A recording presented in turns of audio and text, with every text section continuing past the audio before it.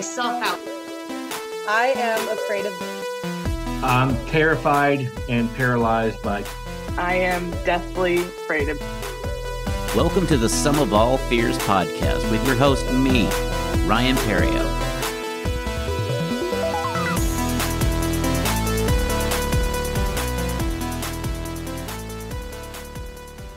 Hello, and welcome to the Some of All Fears podcast. I'm your host, Ryan Perrio. This week, my guest is comedian and musician Geoffrey Eggleston.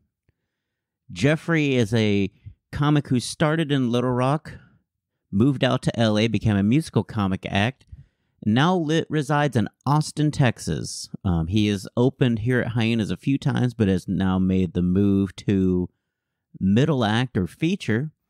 And so now he's doing a little bit more time and having a little more time on stage with that guitar. In this episode, we talked to him about music and comedy and acting. And then we get into his fear of being wrong. So let's get into my interview with Geoffrey Eggleston.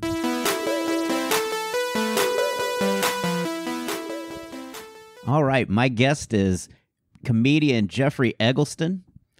Geoffrey, how are you doing today? I'm good, man. Living the life, living the dream. yeah, the dream has some has some reality has some reality during the days. It's it's kind of nice It- though. I mean, it, Yeah. It's not always a good dream. Yes, I should specify. But uh it is a dream. How are you liking Austin? I know you're a recent transplant oh here. man. I'm loving it, man. Uh I love the people. Uh I love how many stages there are. Um I'm I'm just getting up. I'm doing so many sets. So many more sets than I was in LA. Uh, I'm getting to get on the road because there's so many places close to Austin. I was just in Mhm. San Antonio at the Blind Tiger last night, so yeah, I get to do hyenas. Like I'm, I'm loving it. I'm loving Texas. Oh, I'm glad you're loving it. So, did you start comedy in LA? No, I started actually in Little Rock, Arkansas. Most people, most people don't know this. Uh, they make all these assumptions about me, but uh, but yeah, I started in Little Rock. So I, I was going to like the Loony Bin open mics, and uh, there's this place called the Joint that I used to Mhm. go to all the time. Um, but yeah, I was there for like two years, and then I went to LA for for like four, and now I'm here. Awesome. Well, congrats on your journey and congrats on getting the opportunities you're getting. You're doing an amazing job. You you're a different breed. You're a musician slash comic, so you do a lot of songs and stuff, which can prevent can present its own set of challenges more than I would mean to say prevent, but present challenges. How do you, how do you go about like trying to I guess lyric and musically I guess come up with the material? Oh, uh, I mean, that's an interesting question because it's not like uh, it's not like the same. At least for me, every time I know, like some like songwriters say, "Oh, I always write the words first, or I always write the music first. I think Billy Joel is like a he's a music first guy, and he says the reason we didn't start the fire, at least he thinks is a bad song because he wrote the words first, uh, and he didn't write the music. But for me, I don't know. It's like I, I it'll either start with uh, an idea or a feeling, and if it's an idea, that's like I guess a lyrical start, and if it's a feeling, that's usually more of a more of a musical start. So um, it depends, and then I, I work out tags and and like um, and like punchlines, uh, you know, kind of like any other comic, maybe with a little more structure at like an open mic. You know, I can't like riff in the same way, but um, uh, it, it's it's similar enough. You know, You just gave me a, a great idea. Like if you could do crowd work musician, just be like a minstrel on stage and just do crowd work. Like it's all just, yeah. hey, what do you do? just start. Yeah, I do a little bit of that. Um, there's a guy named uh, Morgan Jay who does like singing crowd work. If you've ever seen him, he plays a guitar and does singing crowd work, and it's it's pretty cool, man. Was like, that's got to be super interesting because it's almost like you're the Yeah. guitar guy at the party that just playing to impress people. Yeah, hopefully you you're the guitar guy who was invited to the party, and not the guitar guy who like found the guitar like hidden away at the party that they didn't want anybody to play. You know, That's every hyena's green room. There is a guitar that sh- that's just there for people to riff on. It's ma- yeah. so since you're like you've got you're now moved up to I guess being a middle act here I guess in our scene as well as I guess probably wherever you go as far as you know middling you you're doing it as an MC Yeah. for a little bit but you're a middle act which I think gives you more freedom so you're not you don't have to drop the guitar for anything at this point. You can go Yeah. For 20 25 minutes without having to worry about okay, now the rest of the show I've got to be just an announcement guy and that's got to be an Yeah, exciting it's, feeling. uh, Uh, I mean, it feels good. Um, I don't mind hosting. I like hosting. Um, I host a, a show. My my uh, roommate and I, Sean, we also do a show together uh, called Very Serious Club. Um, Mhm. We we just started producing a show in Austin, uh, and I like hosting. Um, but I guess in like in like a club setting, you know, versus a showcase, like club setting, I like being in the middle because uh, my act is so different, and I feel like sometimes going up, like when people are there to see comedy, and like walking on stage with a guitar it kind of confuses people. And i feel like i maybe have like just kind of that extra step i need to take to get everybody on the same page for the show. You know what i mean? Yeah. so as a middle it's more like okay hey here's something a little different. We'll get back to the more familiar stuff in a minute. You're loosened up now. Here's some here's here's something to enjoy rather than right out the gate here we are. right right. Versus like walking out on stage with a guitar at a comedy show and like looking the way i look my long hair you know, i look like i'm gonna like be singing about like breakups and, and shit you know? So it's like so i have to like you know work my way through that sometimes with an audience. Um i think it's it's- especially in comedy clubs i've noticed. Like if i go up there first um people are just kind of like Whoa, what's going on Yeah. I can't imagine how your show played in Little Rock. Like I feel like that was probably such a such a culture shock for them like to like what?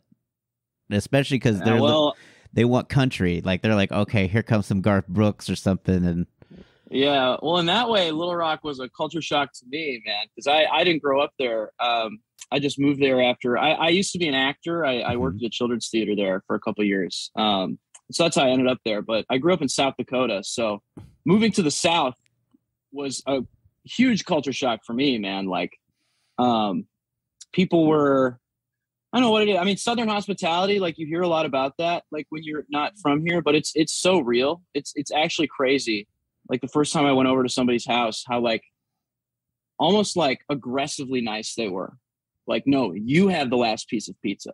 Mhm. No, you have no, that's for you. You're the guest. So um I, I don't know. I like it. I, I I prefer it. I'm glad I'm back. Well, I'm glad we're glad to have you. And so so what inspired you to do musical comedy? Like so when you started stand up, what what spoke to you to say let me do guitar and music versus just spoken word? Uh well, I mean, in Little Rock, um well, I've gone back now, but in Little Rock, I only ever did uh, uh, regular stand up. Okay. for so my first two years maybe maybe almost three years honestly um were all i was i was just doing traditional stand up and i wanted to play the guitar. I wanted to pick it up but i didn't want to be that guy. I wanted to like you know i wanted to and, and also like coming from a the- theatrical background uh when you when you like study acting there's there's uh big emphasis emphasis placed on like uh and this is probably any discipline like really learn the rules and make sure you understand like the rules and the structure of something before you start defying them before you Mhm. start breaking the rules and defying structure so I was very conscious of that and i stopped myself from playing the guitar for for years and then i when i moved to la um, and started doing shows and these open mics and stuff um, i just kind of noticed there were there were a lot of like uh, guys like me just you know straight white dudes from the midwest talking about their dicks so i was like what can i do what do I have that these people don't have? And I was like, well, well, I've been singing my whole life. I've been, you know, making music my whole life. And I, and that's finally when I was like, okay, I have to stand out. I have to do something to stand out. Yeah, to, to stand out of this crowd. And then when I picked the guitar up and started writing, the first two songs I wrote uh, were were just they just crushed, dude. They were just killers like right away. And so I was like, there's something to this. And now it's it's all I do. I just I just write the funny songs. That's awesome. So when did you start in music? So what got you into music?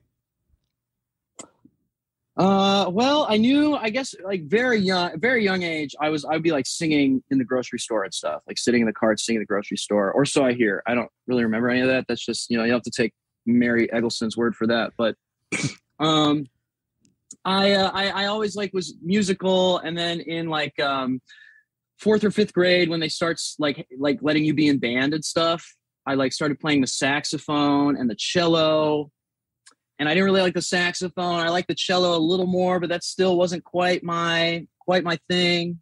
hmm And then I was in a music class in sixth grade, and we were just doing like you know do re mi shit. And um, the teacher like you know pulled me aside, and he was like, "You really need to join chorus. You really need to be in chorus." And I said, "Well, I'm already in band and orchestra. I, I can't do another one." He's like, "You need to figure out how to be in chorus." He was like like gravely serious. Uh, a guy named John Mogan, very very good guy. Um, and he, so he um, basically convinced me to quit saxophone and join chorus. And then when I started singing, dude, I couldn't get enough of it. I joined, my voice hadn't changed yet. I joined like a boys choir. I was an alto till I was like 16. Uh, I started taking voice lessons and then I found theater and musical theater. So I started doing that in high school and then I went to college for that. Um, so yeah, I've been singing forever. And then, and it just kind of all ended up rolling into what I do now uh, as, as a stand up. So, what kind of monster are you on the karaoke? Like when it when karaoke comes around, like how much of a like Dude. when you co- when you come up, people just underestimate you because they just see scrawny white guy, long hair, Yeah, and then you just Yeah, then I go up there and sing some fucking Queen, and they change their minds, man. do you have the vocal range of of uh, Freddie Mercury? oh, oh yeah. I mean, if you want to get into the weeds, like like I uh, like I was in that boys choir, you know, like the Vienna boys choir, not Yeah. that one, but you know, choir of of, of they're generally little boys. But Yeah. I was like 15, 16 in this choir because my my voice hadn't changed yet. Um, and then when my my voice never like a lot of guys, I don't know how it was for you or how conscious you were of it, like growing up, but like when you're a singer, you're very conscious of voice changing. And like we would literally like in middle school, high school, like a guy would be in, in class one day, he'd be like a tenor, and then he'd come to school the next day and his voice was just like bass, low, you know, a very sudden change. And that never happened to me. Um, maybe because I was singing so much, my voice never changed. It just kind of got a little bit lower, hmm just like a little bit lower. So I've been, you know, I, I sing really, I've sing very high. That's what I was like known for in college, I guess, if I was known for anything. So you're almost like Tiny Tim, like you just you just had you're able to keep the higher the higher pitches where everybody else. Yeah, I don't know. Tiny Tim isn't a very flattering, uh, flattering comparison, Ryan. But uh, but I guess I have to take it. I'll take it. Okay. I'll take it. I know You're- it didn't come from a place of yeah. malice. Yeah, you're a modern day Weird Al. Like you, like Weird Al Yankovic is someone from my generation that took music and Yeah. comedy, and I think like created such a you know a unique like space that now kind of everyone that does kind of comedy music kind of can stem from. But it was such a diversion back in the day to to have someone be talented musically, but then to just parody all these popular songs. And it was just he would it just it made his career from the get-go. Like i remember how like i was so young and when that came out and i was just like blown away by you know eat it and all the other ones that he did and it was just it was clever it was well done it wasn't you know just a butchering of a song it was really quality Right. music Yeah, that's what made him so good, or makes him so good, I guess, is that he he really is a good a good musician. And I mean, the problem you you see with so many, um, so many musical comedy acts is just the like either the jokes aren't very good or the music isn't very good. hmm Um, so I, I like to think that both both my jokes and my music are good, and I mean I think that's why why it works. I just see so many people like half-ass the guitar. You know, they they, they can't really play, and it's like just tell a joke, man. Yeah. You'd, you'd be better off without that because because because like it becomes like if you're not like because when I'm on stage with my guitar, it really feels like an extension of me. You know, I feel like okay, this is who I am. This is like my voice. You know, whatever that that kind of cheesy stuff. That that is truly how I feel. And then I watch some people, and it's either like they're hiding behind it, or or they're just not that competent with it. So it becomes this clunky thing that's just like kind of in their way. You know, um, and I get you know those are my fears. Uh, you know, another another like uh, I guess like before I picked the guitar up, like those were some of the things that that were stopping me. Like Mhm. those thoughts, like oh, I don't want to be that guy. Yeah, I have a friend that does that was an opener that did guitar, and he would do a couple of songs. He would do a few spoken word jokes, and he'd pick up the guitar and he'd play a couple. He would cover a couple of songs and make them like parody. Like he has, you know, um, can't think of the Bruce Springsteen, but he calls it "I Got Fired," and that was Okay. and he covered Bruce Springsteen. And he's he's very he's a very talented musician. Like he's one of those people that that takes it like you are. Like you take the guitar seriously. Mhm. Like that. Like he's like, if, Right. if I do anything with this guitar, it is go- I'm going to have all my chords. Everything's going to hit. I'm not going to half-ass or not practice the guitar. So he he was very passionate about music. He was in a few bands, and so he would write these parody songs. But there's a lot of you know he has a lot of other things. He'll be a guest on here for a few times because he's got quite a few fears himself. That, Oh, really? but yeah, he's he. But he, I, I get where you're coming from. But that you don't want that it's a, it's almost like an insult to your music musician side to kind of forego the talent of the guitar to just do the spoken joke and on the same side it's a waste of spoken word if you're just going to play beautiful songs and not really have any kind of punchy Yeah. humor. Yeah. Well, in like acting school and stuff, uh my issue was always that I I just wanted to be funny. Like I didn't I didn't want to do like, you know, and and that's why I'm dying of, of cancer and AIDS. Like I that wasn't really my uh I just was never really interested in like playing parts like that. So those were always like the the issues like oh you're not, you know, taking this seriously enough. I was like, "No, I am taking it seriously."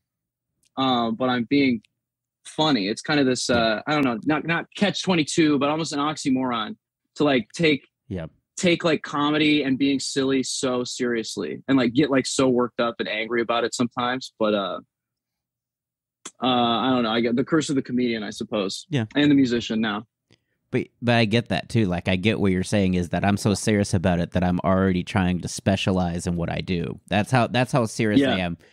In that some people want to try to try to hi- type to portray feelings that they normally wouldn't be able to do on a daily. I get I see the challenge of that, like the the drum the drama and things like that, where you know you're playing an alternative lifestyle or something else, and you're trying to bring you know justice to that by trying to put yourself in that space. And it's i'm sure as an actor that's got to be a fun challenge to try to try to mimic and portray those feelings without being over the top or not authentic. And so i appreciate i can see some of that ability and the passion in there. And it's just i see where you're coming from though too is that hey i am taking this seriously because i'm eliminating the things i don't want to do and already Yeah. it's almost like going to college and knowing what your degree or your major is going to be rather than to just go to college. Yeah.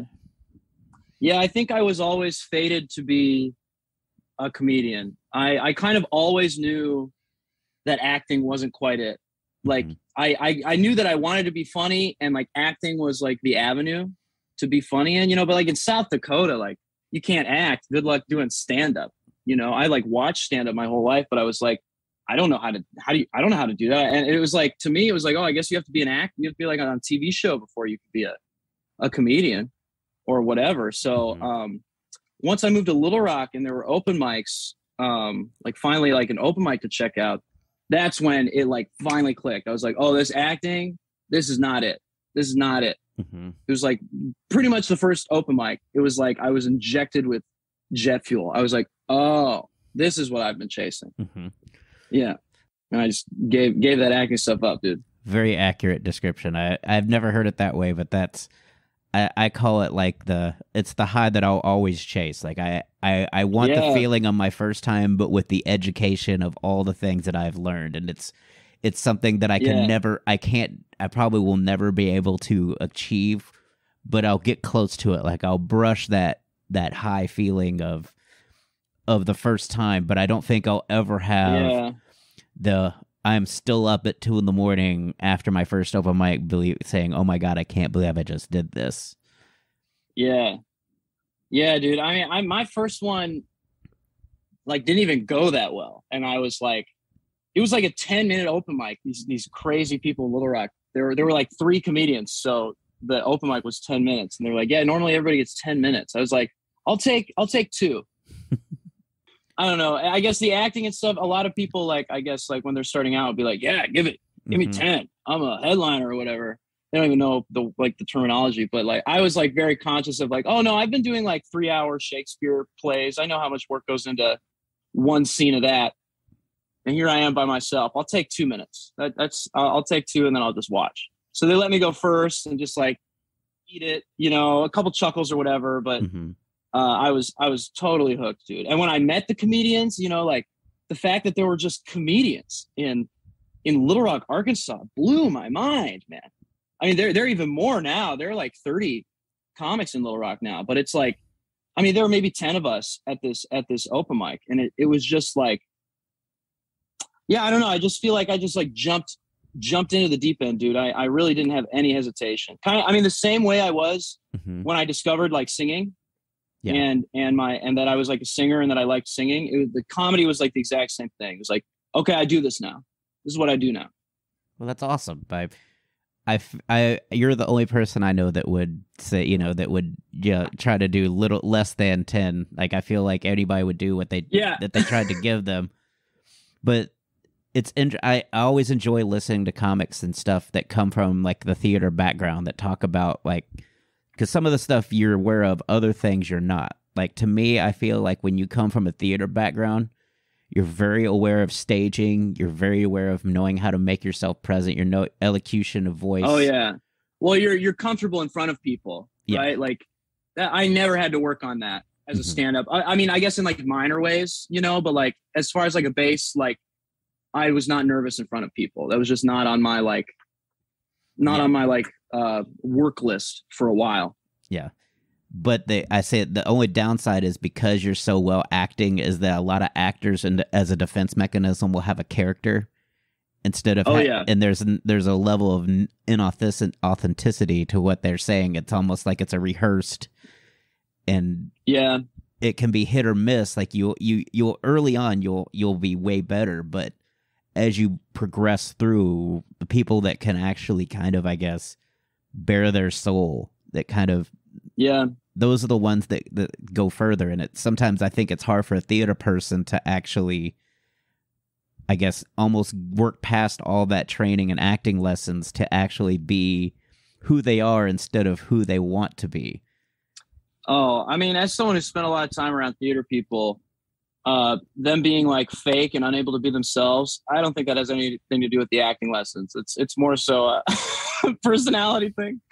Um, but uh, no, I hear what you're saying. You're there. There's definitely some truth to that. Like, um, I've definitely seen some like more, like theatrical people who go up there and it's it's like uh, it's like you just hit play on a on like a recording yes you know you hit play and they just they you know do their act the same way it's the same thing every time uh and then the recording ends and they get off stage as opposed to i don't know someone from a non like uh, a non-scripted background let's call it who goes up there and is a little looser and maybe it does like crash and burn but at least they're like present in the moment. Yeah. You know? Yeah. I went to a very good i i, I do need to give my school credit though. I went to a very good um, acting school. It's called Mil- millikin university. It's in uh, bumfuck nowhere illinois but it's a very good school and especially towards the end of our um, training as we became more focused on like you know here's how you're going to be a working actor uh, you know you're going to be doing these auditions. We did like a year of audition technique classes. Mhm. and those classes are less about like portraying a role portraying a character and and truly more about like how do you present yourself? How do you like how do you you know because when you go into a room for an acting audition for like broadway or whatever you're in there for like a minute minute and a half. So these classes were like focused on like how do you like i don't know wrap up your personality? How do you distill yourself Mhm. into like a, a very easy to understand almost like bite size um, chunk so that when you walk into a room people know who you are?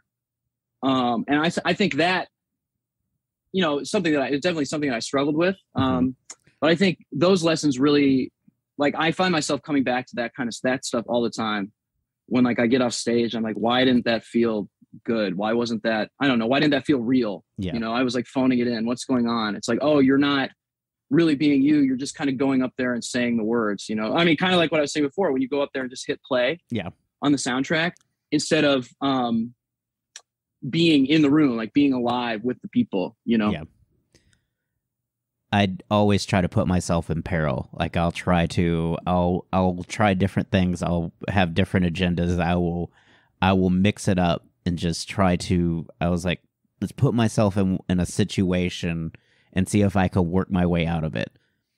Like I've tried. Yeah, I do- like that. I like to do different sets. Like I don't do my I don't write everything out. I do it. I do a main idea and then I just kind of form the joke around it so that each time it's a little different.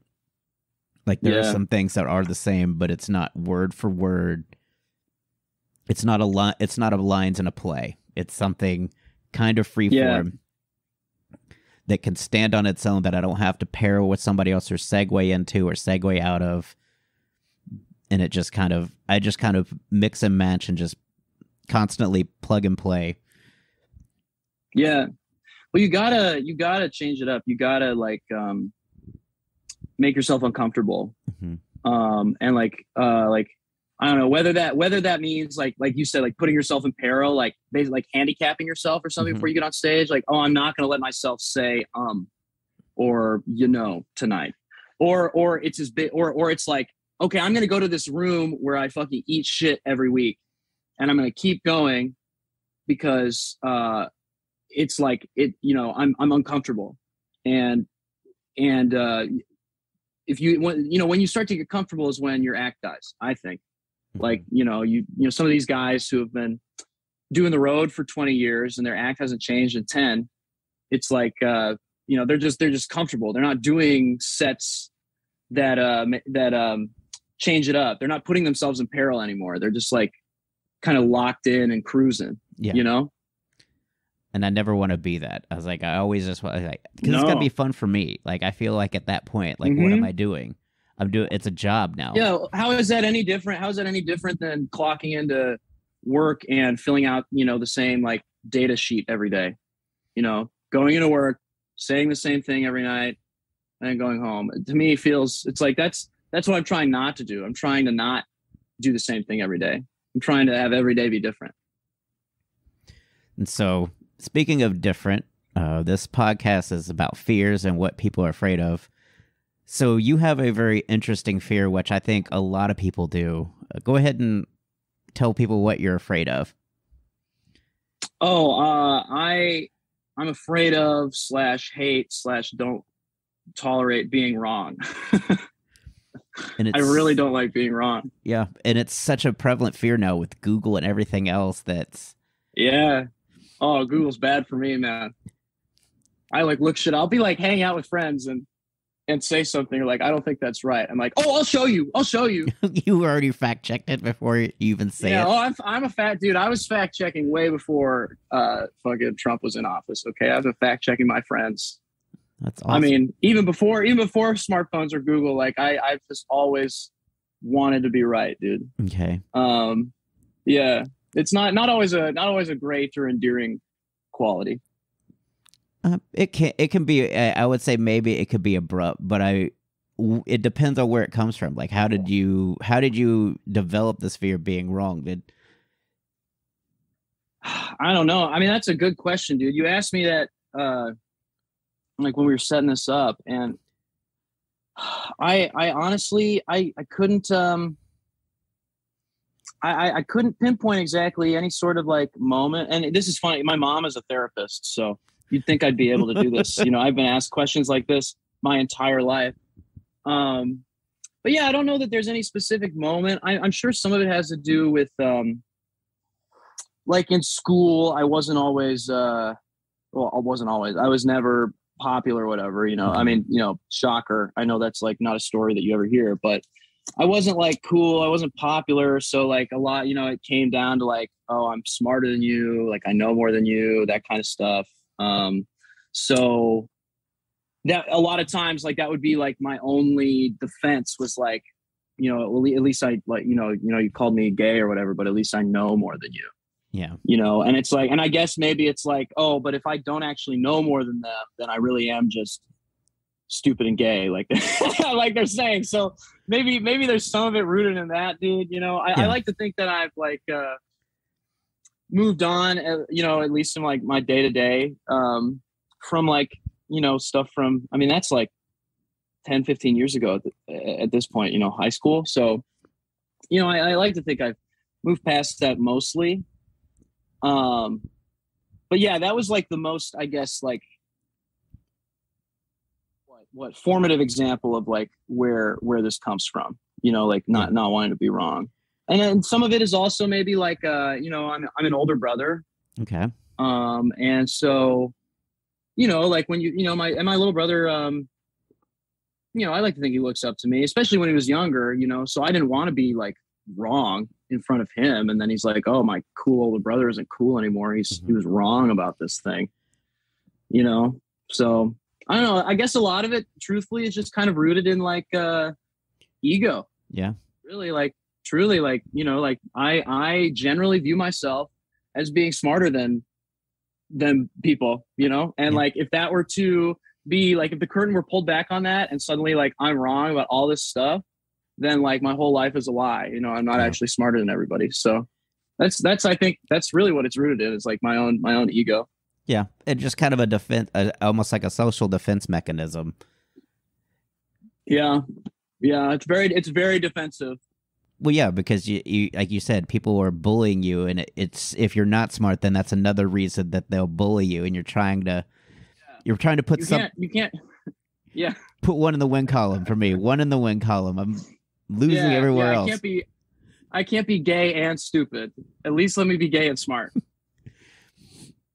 It's gotta be. It's gotta be. It's uh, it, but I mean, it, it. A lot of high school bullying and stuff really makes you question. Also, early on in stand up, makes you question these same things at a later time. Because Oh yeah. when I was younger, I questioned all these things, but as I got older, I had these. I had these same questions doing stand up, and just you eventually just learn to accept certain things about yourself Yeah. and through that acceptance is how you kind of embrace who you are on stage like i feel like that's to me finding my voice was just making peace with the fact that this is who i am and that's okay Yeah. and being I able mean, to joke I, about I, it I feel the same way. Yeah, I feel the same way, man. Especially, and I, I mean, it goes back to what, you know, I think what we said like earlier about like not getting too comfortable. Like you want to be questioning yourself this way. I think you know you Yeah. want to ask these questions, and you know, at a certain point, I have just kind of uh, you know accepted like you know it's it's it's definitely something that I check and work on. You know, like am conscious of, but like you know, like I've just kind of accepted that I got kind of a big head and and that you know I've accepted that I'm way smarter than everybody, and that was hard to do. You know, to accept that I'm just you know genius levels above everyone around me, but I you know I managed to look inside myself and, and do that. genius level but doing stand-up. genius level, you know, but yeah, trying to yeah. pursue a career in stand-up genius genius brain, but not genius decisions. There you go. you're like There you go. And I've accepted that, you know, and I'm and I'm okay with my decisions. you're like the wily coyote of life Dude, I wish that dude's famous, dude. Yeah. people know Wiley Coyote. They don't know Geoffrey. Certified I'll trade with that guy. I'll fall. I'll fall off a couple cliffs, dude. I'll I'll I'll buy some sketchy products. I don't care, dude. Whatever it takes. Yeah, that's the that's a that's a met, that's such a metaphor for comedy too like it's you could be so intelligent and you'll just end up banging yourself against a wall repeatedly where some you Yeah. know guy does one dumb thing and he's off to the races and Yeah. i totally can relate like those were my favorite cartoons as a kid so i've definitely Oh, dude, I watched I watched all that stuff on uh uh on, on like Cartoon Network. Uh I don't know. They would play. They played all those old old cartoons. Like during, there was like a certain block. Maybe it was like right after school. Um, but yeah, I love that stuff. Like more slapstick stuff. Like I feel like cartoons. Not to digress too much, but cartoons nowadays. I sound like a fucking old man. Um, are so they're like less visual now. Like kids' cartoons are like less about like the the physical gags, and it's all just like like the Looney Tunes revival. They're all just like talking yeah and like making like clever jokes. I'm like, this isn't Looney Tunes. Looney Tunes is like head head in the you know frying pan in the back of the head, coyote running into a cliff that's painted like a tunnel. You know that's Yeah. that's Looney Tunes. It's not it's not like talking about your day. You know, going going on a trip to the Hoover Dam with Bugs Bunny. Like kill it, kill yourself, dude. Waste don't quit wasting my time. you were not wrong about that so there there's one for you in the win column Yeah, there we go. Another one. Another one in my, in my win column. So how did how is that? How do you feel like that? Have you feel like you've gotten over it? You've kind of, I guess, made peace with. I don't think you you'll ever will ever truly get over some of the things that we're that I guess you would call her hangups and things like that. Like you know, Yeah. Yeah, for me, like hangups and like pet peeves and stuff, like um I don't know. I, I go back and forth on this between like how much can I really change and how much is that just part of me?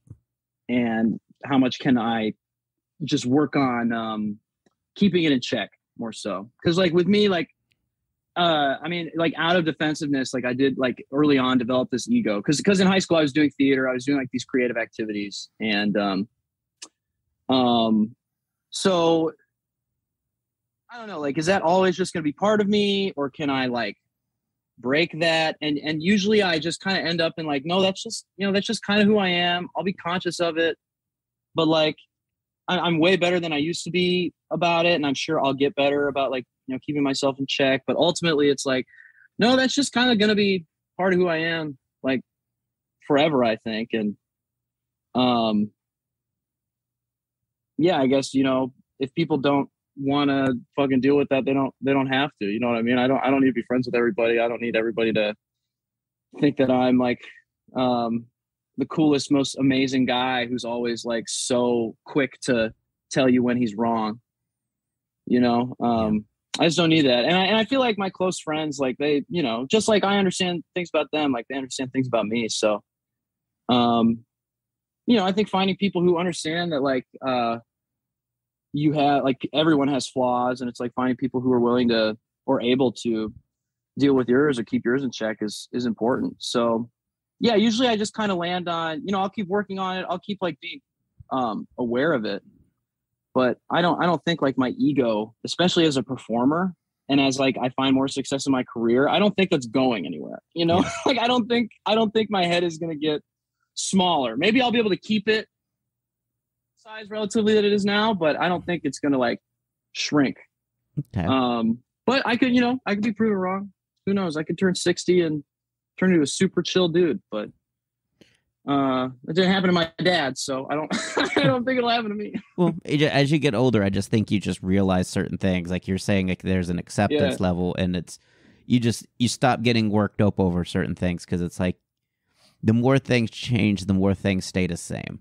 And so I feel like like I'll talk to people and it's like it's no it's no sense getting worked over something you can't control. All y- all you can Yeah. control is is yourself and if you if you let this get to you then that's just something either one if somebody has something against you can use or you're validating somebody else that's trying to get to you that they got you. And it's like I'll never g- I never want to give somebody the satisfaction that they think they got to me. That's just how I've Sure. I feel that for sure.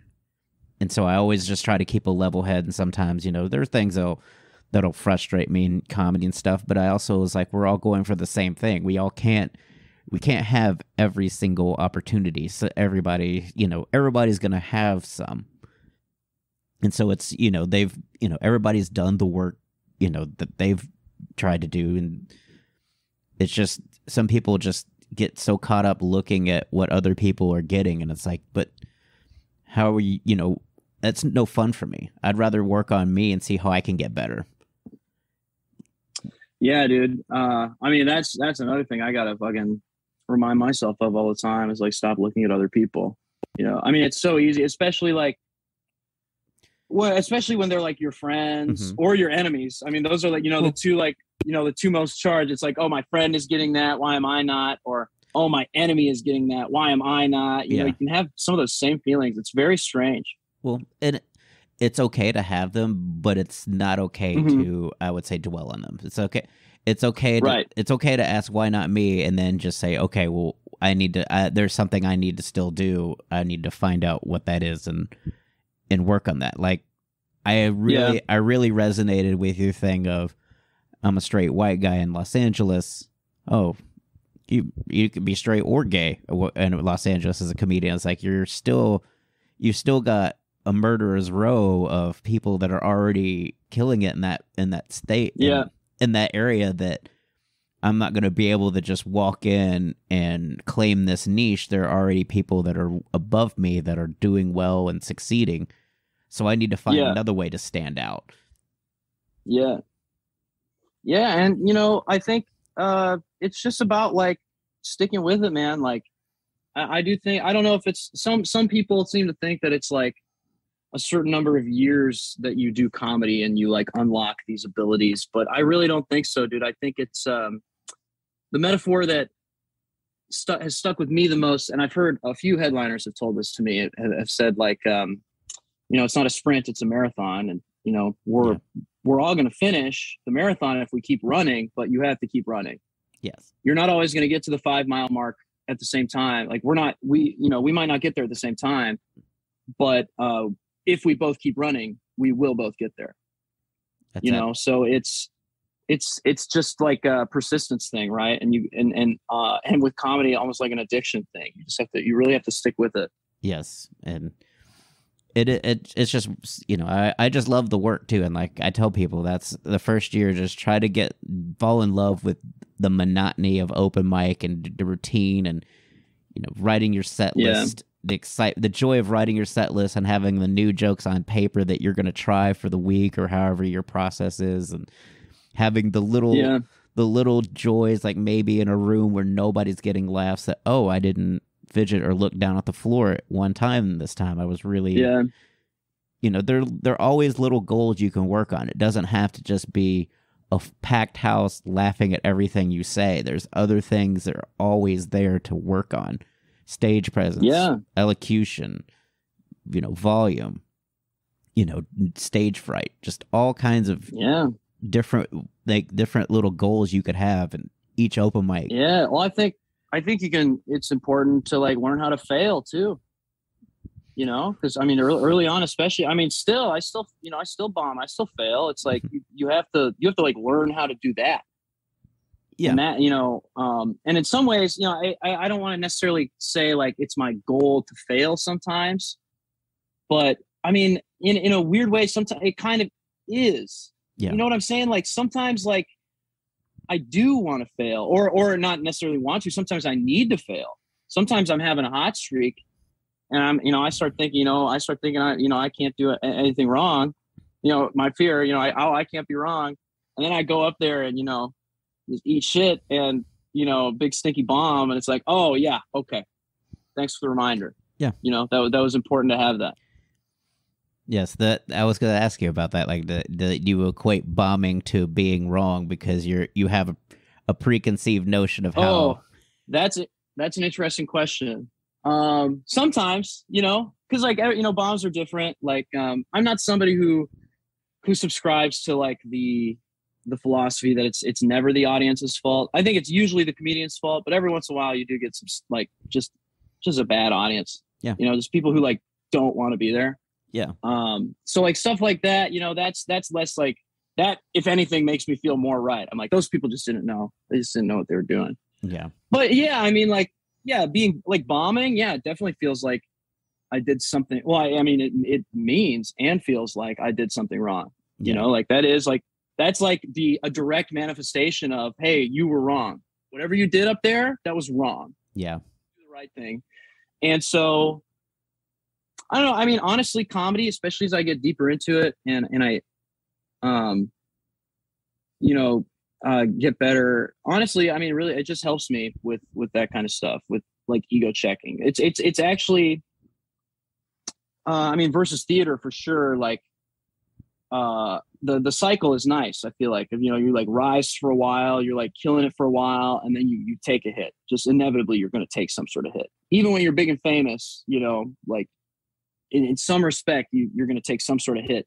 and get knocked down a peg and um i mean for someone like me with like my my issues like that's super important yeah. it's super important for me to fail I agree. I think it's it's important for everyone to fail. That's why it's like I I prescribe to something that if you're really struggling with your confidence and stuff, go up last at open mics because that is the best way to work on your confidence. Just to sit there in an empty room yeah and just kind of work it out and not have to worry about everything that's happening.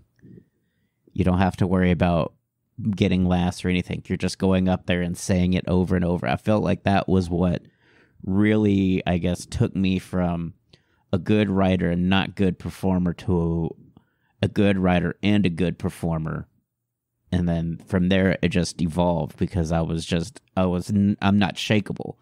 You can't shake me if I'm in a full Mhm. room when there's silence because anybody that just goes up in a full showroom and then nothing happens when they are expecting a laugh, they're shook and now they're all of a sudden Yeah. they start to backpedal and try to try to roll out some other material and stuff that they weren't planning to do to try to get back on track and then and then it just snowballs. Yeah. And, uh, yeah. You put on this you're you're put on this aura that you're you're nervous and scared and all of a sudden now the audience is going to reflect that they're nervous and scared because the person they're looking to to lead them is now shaken and so it's Yeah. it just bec- Well, you're it's it, that's an interesting way to put it. The person to lead them, because like when you're when you have a microphone on a stage, like, um, kind of like it's it's like the way people are conditioned. You do have some of the same like powers that like uh like a preacher would have or like a pastor would have. You know, like at least for a little bit. yes Like people are listening to you, and you do kind of have that control of them. So if um you know, if you just, if you go up there and like and it's quiet and you're like chill with it, like I've been here before, the audience is they're not gonna even they might not even notice it, yeah you know. Whereas if you you know, I see last night I saw people saying, "Oh, you didn't like that one." Yeah. Oh, was that too blank for you? It's like, no, dude, it just wasn't funny, and Yeah. you're revealing you're revealing uh, your your practice habits to to the comedians in the back right now. Yeah. Well i thank you for doing this Yeah. Geoffrey this has been an awesome conversation so you got some Oh, my pleasure, man. this should come out before your shows so when are you going to be featuring at hyenas Oh, I'm going to be featuring at a Hyenas Fort Worth. Uh, oh, let me look at my calendar. I think I know the dates off the top of my head, but I don't want to confuse anybody. Um, yeah, December 2nd through 4th. okay And then I'll also be back featuring on December 9th. So I got four four days of, of Awesome. uh, raucous laughs at Hyenas coming up. I'm trying to think if that's Jenny Zigrino or Ben Gleib on the Fort Worth calendar. Um, I think Ben is at is at is in the is at Dallas. okay, So, so it's probably Jenny then. oh, that's cool. I would think it's when Jenny. I got it, there wasn't anybody listed, Okay. but Maybe I'm maybe I'm thinking Yeah. of I'm thinking of it, but I I can't be sure. I know Jenny got put on the calendar recently, but it could be with Jenny Okay. Zigrino, who's super awesome. Uh, yeah, that'd be tight. we could be wrong. And then Uh, I also have a. Oh, go ahead. as if we are wrong, I'll correct it in the preamble and postamble of who is actually going to be whatever. there. Yeah, edit. Leave it out. I'll just Yeah. dub it in. Yeah, and then I've uh, I've got a a show I do with my roommate I mentioned earlier. It's uh, at Very Serious Club on all platforms. Um, it is uh, it looks like a podcast, but it's it's a fake podcast. We just do like 15 second clips from a podcast that doesn't exist. That's awesome. Um, we have a video about uh, Nicki Minaj that's really upsetting people right now. So um, check that out on Instagram at Very Serious Club. If um, if you don't have the time for a real podcast um, after this, and you just want some 15 second uh, fake podcast. Awesome. We'll definitely check that out. Uh, where can people find you if they want to follow you on social media? And Uh, my handle is uh, at Jeff Eggs on everything. G E O F F Eggs. Um, and I post like stand up clips, crowd work stuff, music stuff. Um, not super often. The very serious we post every day, uh, but I post like something maybe once a month. well, awesome. But it's ama- you're doing amazing work. Can't wait to see your feature weekend here at Fort Worth. I look forward to seeing you again here in town when you're back. Uh, talk to you soon. Yeah, man. I'll see you soon, Ryan. So that was Geoffrey. I really relate to his fear about being wrong because I was bullied a lot as a kid and not really well liked. So you tend to play to your strengths. Mine was being weird. Geoffrey's was being passionate about being correct. And so it's a very, very relatable fear of just being, having feeling that something's maybe being taken away from you. I totally relate to that check out Jeffrey. He's an amazing comic. Uh, he was just at Fort Worth this weekend uh, with Renee Garcia. Next week, he'll be at the 325 show in Dallas on the 9th. You can go check that out at hyenascomedynightclub.com. follow Geoffrey Eggleston on social media. I'll have the links for that in the show notes. As for myself, I just got back from driving from all the way from Odessa, so I'm a little frazzled. Um, I got I left about nine in the morning. I drove to Odessa the night day before, so my Friday was and Saturday were mostly spent on I twenty, going back and forth. I had a great show with James Johan at the Odessa Country Club, as well as the uh, hotel bar where we performed as well. Sold a couple of shirts. It was a fun night. Thanks again to JC Faust for for booking me on that and perhaps maybe one of these times I'll have him on the podcast, but he's also a big police person in Odessa, so he's got a really busy schedule. Other shows I've got coming up uh, next week, the 11th, I will be at the Brazos Theater in Waco, Texas performing. And then it might just be the rest of the year for me. Um, the last two weeks of the year, I'll just take off. It's been a great year in comedy for me. Super excited. I've done more work in comedy than I ever have, and it's been nice. I, I really enjoyed it, and I'm hoping to add a few more to the rotation in the coming years. Just having fun doing stand up and all kinds of stuff. You can catch me in January, the first weekend of January the 2nd and 6th, and the Loony, Loony Bin Wichita with Damon Harris. And I will also be with Damon Harris in Oklahoma City the following weekend, the 12th to the 16th. You can get those at looneyBin.com.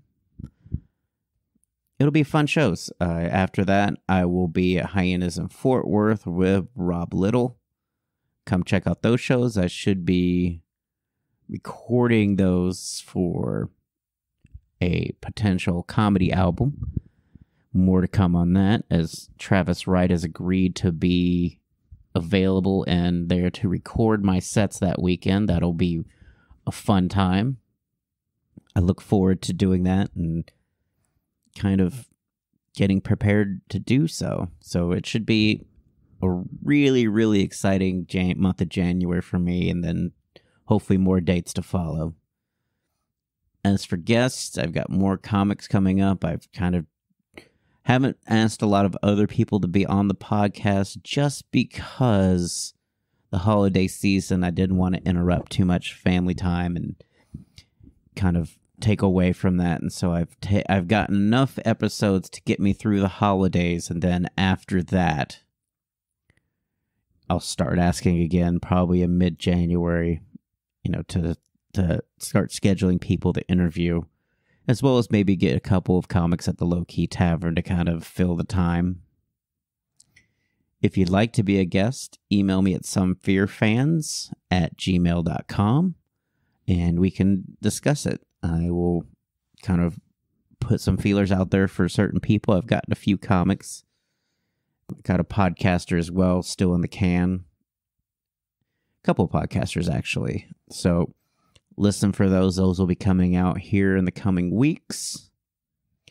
I wish you guys a happy holidays. I I know some of Hanukkah has already started, so mazel tov for, for those. And thanks again for listening. If you like what you hear, leave a review wherever you listen to podcasts. Thanks again for listening to the Some of All Fears podcast. And now some thank yous for the folks that make this show possible. Thanks to Barry Whitewater for my art and graphics. You can follow him on Instagram at bwhiteh2o. Get it? H2O like water. You can also follow him on Facebook Music. A huge thank you to Gunnar Olsen for the wonderful music provided for this podcast.